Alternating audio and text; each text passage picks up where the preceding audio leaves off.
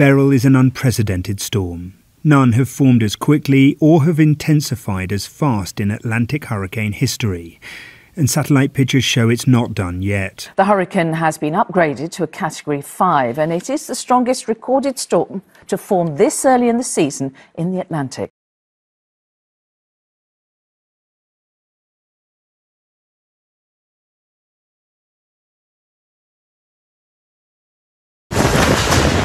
Even by hurricane standards, Beryl is a brute.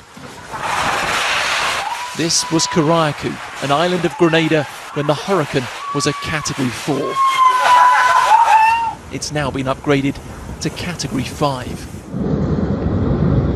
160 mile an hour winds and savage storm surges have left swathes of the Caribbean flattened and flooded. This is actually the strongest storm that we've had in my lifetime. So many people have lost their boats. There's nothing more we can do but sit, but stand and watch total destruction. Our livelihood going down the drain. To see storms on this scale is rare. In July, it's almost unheard of.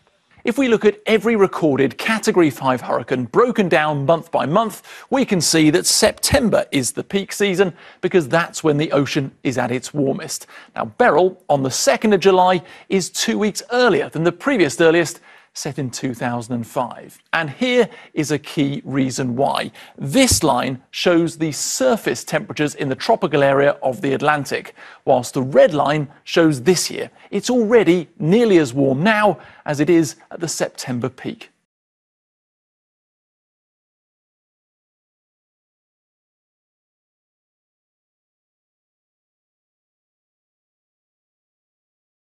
Beryl hit in the middle of the night and left nearly everyone on Union Island homeless. This is what's left of the tiny island, just 9 square kilometers large, part of St. Vincent and the Grenadines.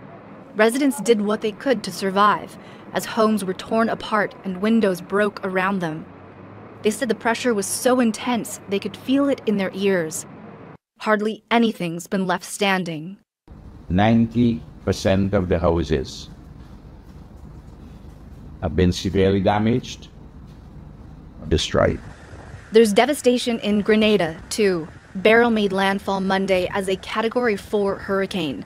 Thousands of people are without power, and communication systems are down.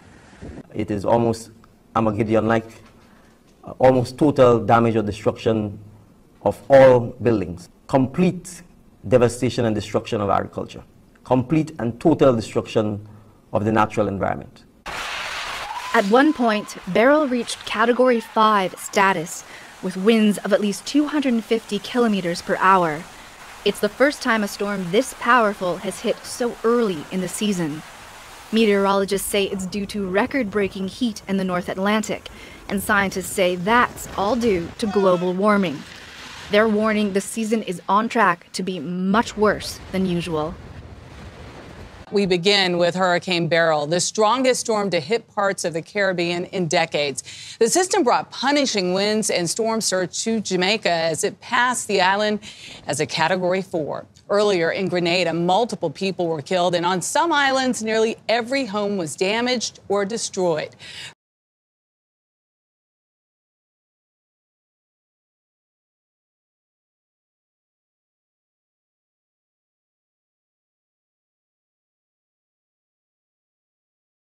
Meantime, state officials are urging Texans, especially Gulf Coast residents, to prepare for Beryl. The storm first battered the Caribbean, weakened to a tropical storm after slamming Mexico, and is likely to strengthen as it re-enters the Gulf and takes its path toward the Lone Star State. Fox 4 Shaun Rabb in studio with more. Shaun.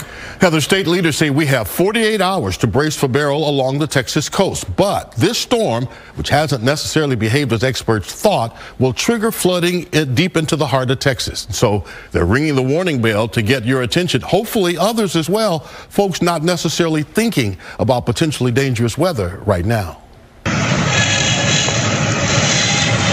Cancun's pristine white sandy beaches plowed as Beryl plants her foot in the Yucatan Peninsula when she bounces back into the Gulf of Mexico, beaming towards the Texas Gulf Coast with the promise of torrential rains. that could be 12 to 15 inches in some areas. We don't know exactly sure yet where that may be. Whether it's heavy rain and flooding or if it's a hurricane category one, two, or worse, it would be here likely on Monday, and we'd start seeing the impact of that starting on Sunday.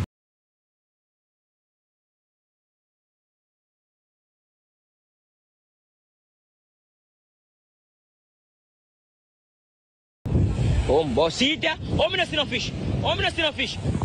Jesus Christ! One fish, one fish come right there, sir. What fish? Yeah. Jesus Christ!